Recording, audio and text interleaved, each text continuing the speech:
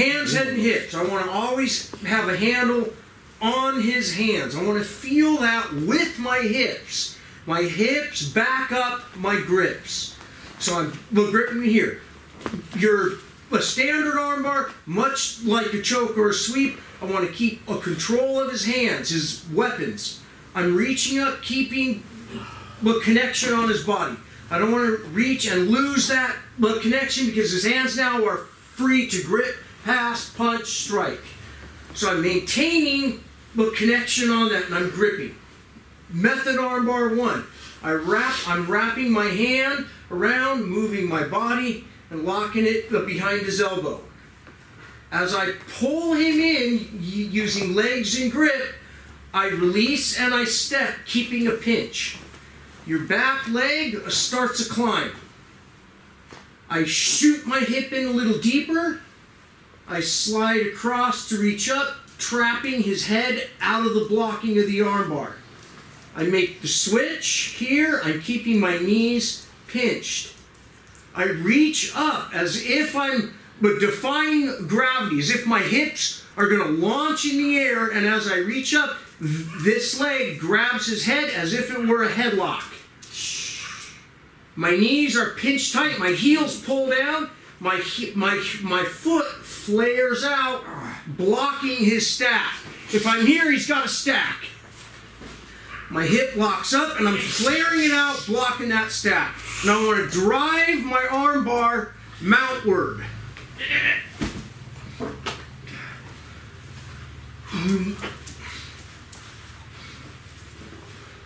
Next arm bar in here.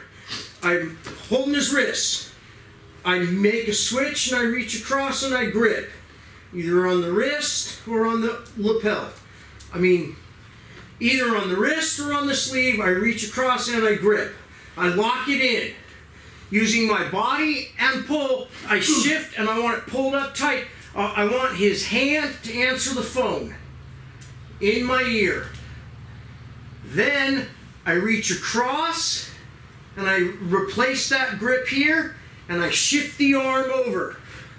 Using my legs and my reach, I hook the armpit. I unlock and place this foot on the hip. This leg climbs and presses away. I push onto the head and the neck, make the trap. If his other arm is active up over here, maybe I'll just attack it. Ah.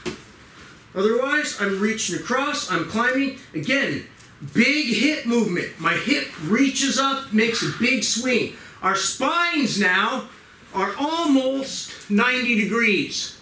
I don't want to be here, I want to be here. I can hook up and I grab that leg, I block it. I usually do not reach under because I don't want that arm trapped. Because they trap it and then I've lost a weapon. I want to keep it active and alive, monitoring his hip or his leg. Pick that up, and I'm into my arm bar.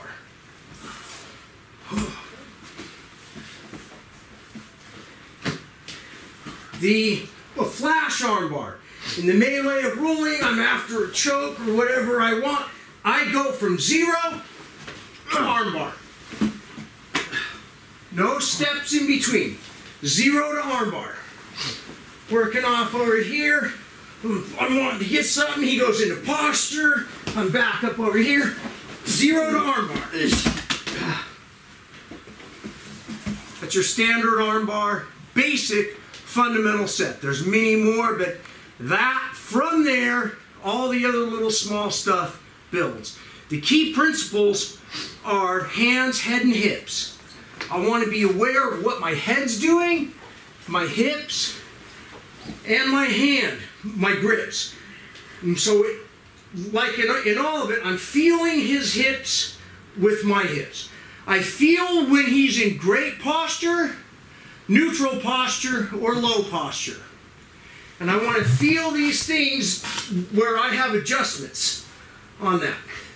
Maybe I'm working up over in the armbar here and I got the sleeve. I'm trying to get the armbar, he goes into posture. Right as he goes into posture, I make the shift, we grip at the pants. Now, I may unlock, shift up my hip, and boom. I go to sweep or back. He battles it. I'm going to use my legs and hips here. You see, I'm holding my feet on his hips. I want him to earn that rise. As he earns that rise, I get my shift and I'm back into armbar.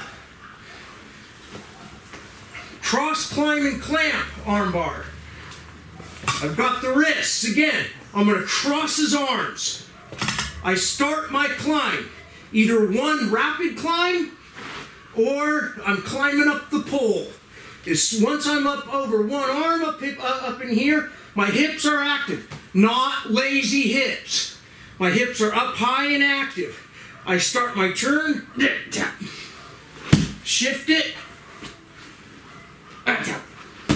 or back down. Again, the foot flares out, blocking that stack. Control the leg.